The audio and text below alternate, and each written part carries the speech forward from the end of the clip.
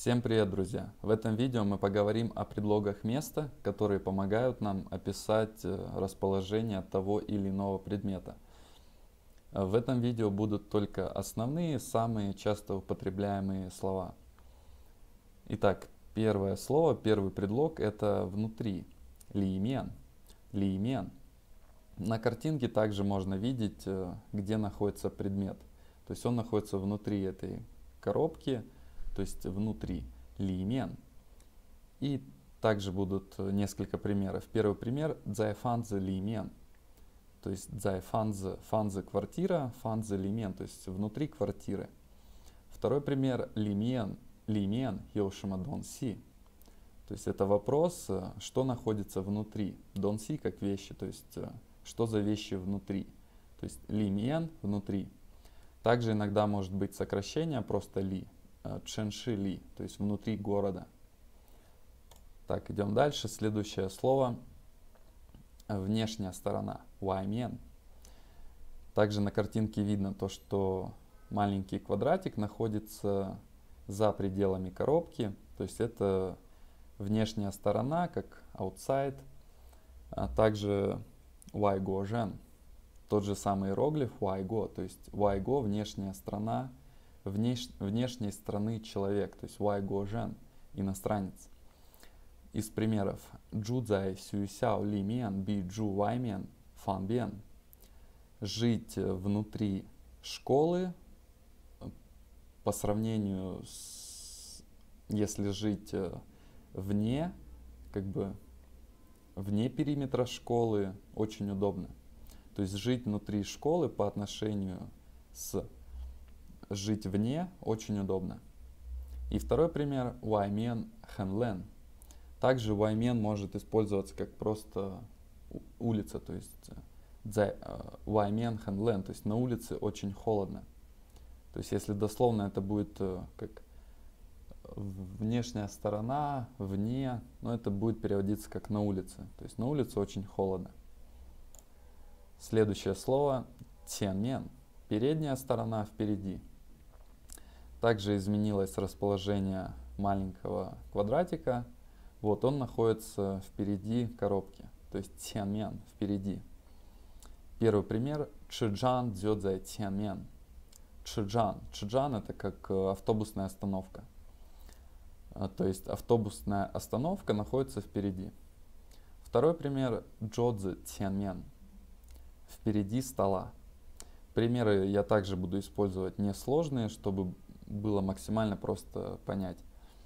Итак, э, передняя сторона, впереди это тянмен. Следующее слово задняя сторона позади. Хомен. Хомен. Также изменился квадратик, он находится за. Также вы должны понимать, к какому предмету идет речь. К примеру, в данном случае маленький квадратик по отношению к большому, он находится сзади. Если мы будем говорить о маленьком квадратике, то мы можем сказать то, что маленький квадрат, большой квадрат находится впереди маленького. То есть здесь тоже очень важный такой момент. Пример. Вот Джан зай та хомен. Джан как стоять, то есть я стоял э, сзади него, позади него. Фан зе хомен. Позади квартиры. Следующее слово вверх, наверху, шанмен. Также видно, что квадратик уже находится сверху на коробке, то есть шанмен. Если иероглиф мен сам по себе, он обозначает именно расположение, сторону. Также у него есть другие значения, как и лицо, так и хлеб, как менбао. Но если добавляется, к примеру, там шан, сен, то это уже будет расположение. Первый пример – Джодзе Шанмен Доши Бейдзе. То есть Джодзе Шанмен. Джодзе – стол, Шанмен – сверху наверху. То есть наверху стола или на столе Доши Бейдзе. Все в одни стаканы. Все в стаканах. То есть наверху стола одни стаканы. Второй пример – Таджудзе Во Шанмен. Он живет надо мной. То есть Во Шанмен – это как э, наверху меня – то есть надо мной. Следующее слово это вниз, внизу. Сямян. Сямян. Так, первый пример. Вот хэцзэцзай сямян. То есть коробка внизу. Второй пример. Джодзе сямян. Это будет под столом. То есть э, по мере того, как меняется наш предмет по отношению к коробке, то и меняется его расположение, то есть и также слова меняются. Следующее слово это противоположная сторона напротив, предлог. Э, читается дуймен, дуймен. Э, Та дзя дзё дзя его дзя дуймен. То есть его дом находится напротив моего. Та дзя его дом, во дзя, мой дом. Дзя во дзя дуймен. То есть э, напротив моего дома. Второй пример джан дзай дуймен. Стоять напротив.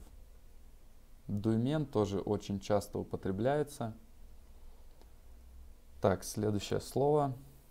А, здесь уже используется не мен, а бен. Сбоку, рядом, поблизости. Это пан бен. Пан бен. Также используется, к примеру, там на бен, джебен. Тоже можно сказать, но пан бен это как именно сбоку, рядом, поблизости. А, первый пример. Водзя Пханбиан Йоига Чаден. То есть рядом с моим домом есть чайный магазин. Второй пример. Дзяво Пханбиан. Рядом со мной. Это здесь используется другой иероглиф, но это тоже обозначает именно расположение, местоположение, то есть именно предлог места. Вот, на этом все, друзья. Надеюсь, это видео вам было полезно. Подписывайтесь на канал и ставьте лайки. Увидимся в следующих видео.